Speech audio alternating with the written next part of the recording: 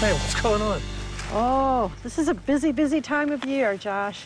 This is the this is where the grapes live. This is where the grapes live, right in this little area here. Look, Where's, see? Why is this good for you know Pinot and Chardonnay production? Well, it's really a matter of, of the soil, the elevation, and it's a style of winemaking, essentially, where you let the land express itself rather than creating. Well, a that's, that sounds that uh-huh. sounds like what you're doing. Yeah, yeah. uh-huh. So this It's would a definitely be in the old world style. old world style. That's right. Yeah, All right, yeah. that's cool. Yeah. In France, where they know their winemaking, they call this idea terroir. Cultivating grapevines is almost counterintuitive. They don't need rich, fertile soil. Instead, their main requirement is sloped, rocky land.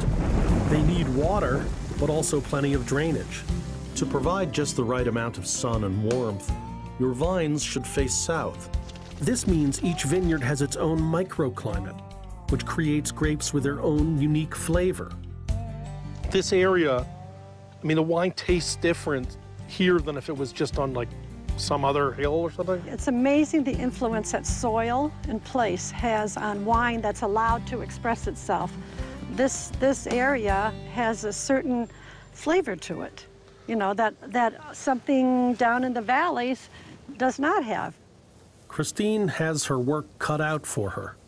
If you've never heard of Virginia wines, it was not for lack of trying. The settlers at Jamestown tried to grow wine grapes and failed. Thomas Jefferson spent years trying to establish winemaking in the U.S. and got nowhere. It wasn't until the 1970s that Virginia vineyards saw any success. Nowadays, researchers help growers pinpoint the right microclimates and fight local pests and diseases.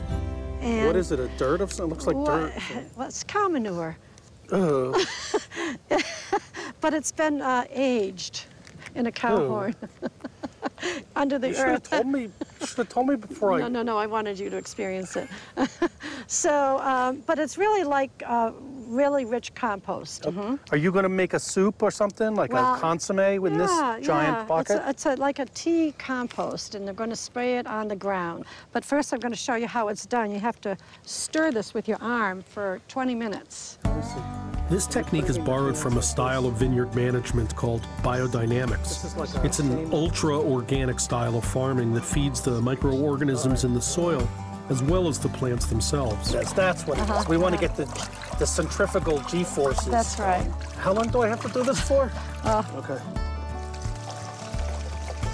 Th- This is like the kind of honest work that's Yes, so alien is. to me. so alien. All right, there we go.